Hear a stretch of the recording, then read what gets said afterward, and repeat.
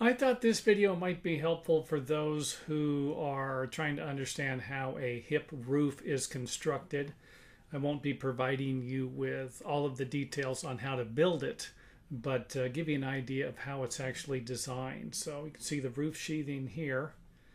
We use 4 by 8 sheets and then the corners will need to be mitered and in some cases you're going to need to you won't be able to cut them flat. The steeper the pitch, the you might actually need to cut some type of an angle on the plywood. Um, for example, you have a, a square cut on this side, square cut on this side, and on this side. But this one might actually need to be angled a few degrees to make it work. And I've noticed that with the steeper pitches uh, for sure. So this is a hip roof with roof sheathing. Here's what it would look like without the sheathing. And of course, the star of the show is the hip. And the hip is usually going to be a larger board. If you have 2 by 10 rafters, you might have a 2 by 12 or even a 6 by 14.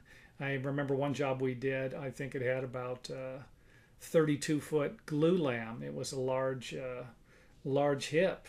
I didn't like the way the bottom connected on the job we did, but that's another story. The blocks are usually going to be angled here and angled you'll have an angle coming down and then of course it will be mitered. The rafters, not uncommon to have rafters. We used to refer to these as flyers and uh, you got to keep going two foot on center. You don't want to leave these out here. Um, let's take a look at the hip, the base of the hip. It's usually going to be a little longer. Zoom in here. This is going to be a little longer than the common rafter or the jack rafter um, seat cut also.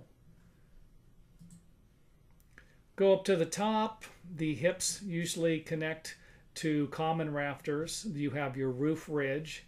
And then actually this is a common rafter, this is a common rafter, and this is the same rafter, believe it or not. This is actually how you can find the um, point here is with the common rafter. And uh, maybe I'll do a video on that later, how to actually build this thing. So hip, hip, common rafter.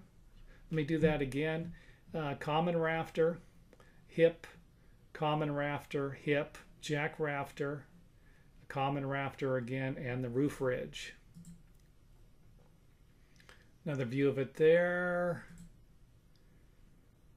The jack rafter again is going to be mitered, and this is usually the same um, cut as the pitch. If we have a 6 and 12, this would actually be a 6 and 12 cut with a 45 degree angle. There's what the seat cut looks like again, fascia. Zoom out here, another view of it.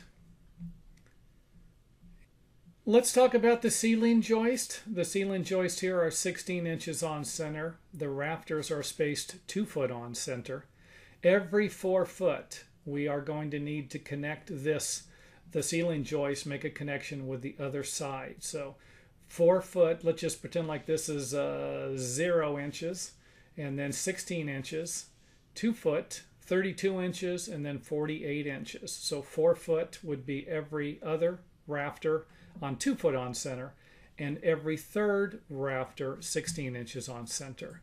And again, these need to connect. These are basically holding the building together. They will need to lap at the. I don't. They don't. They don't have to. This is just one way of doing it. I like doing it like this. Gives it a nice solid connection, a nice tie across. And then let's look at the other side. Now the one thing is, you do the math on this. These rafters are not going to line up. You're going to have to put some type of a spacer block, whether it's at the rafter and the ceiling joist at one end, as I have it drawn here or in the center where the wall laps. Either way, um, in order to have this work out and have your rafters line up. Now you can do this. You can move the ceiling joist and then move the rafters over, but then you have a problem tying the rafters together at the top with collar ties and or straps, whatever you need. So this this right here is just kind of another way to do it. A block here and a block here. Back over to here, it's not going to be uncommon to have regular ceiling joists. I believe these are 2 by 8s And I think you can see here where it drops down a little bit.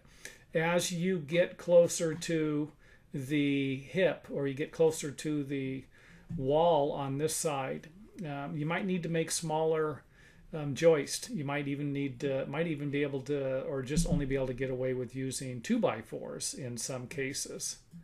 So keep that in mind when you're building. Usually this is how we finish the corners with some flat blocks. Let them overhang about an inch and a half, and then that'll be for your drywall backing. And they simply nail on top of the wall um, framing plate.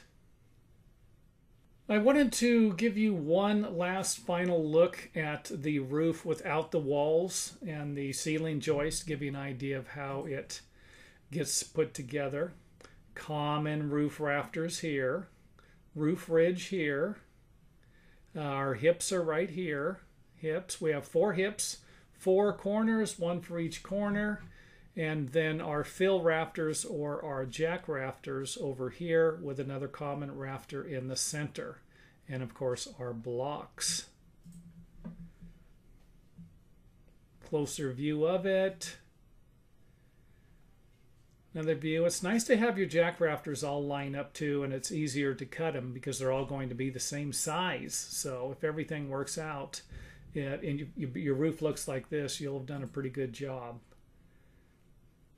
Another view of it there, the hip. Remember, sometimes I said the hips are going to, and I'm seeing a lot of that nowadays.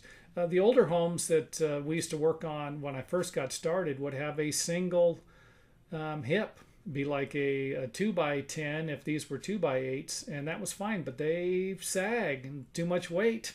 If you can brace them, um, fine, but you'll see even if you look at this house here that there are a couple of walls where you could actually put a brace underneath the hip to a wall. But uh, I believe over here there might even be a garage. You're not going to be able to do that. On the other side, I think, is a large room. So not always going to work out. That's why they require larger, larger um, materials for the hip. So that is it for the video and uh, hope it helps. And it is off to the next one.